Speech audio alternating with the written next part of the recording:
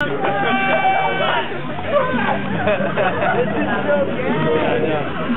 I go put on Bringing it back to 1999.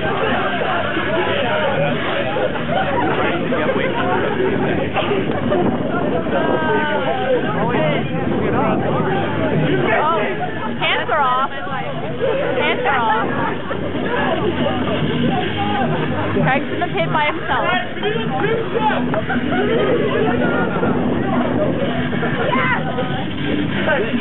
Up.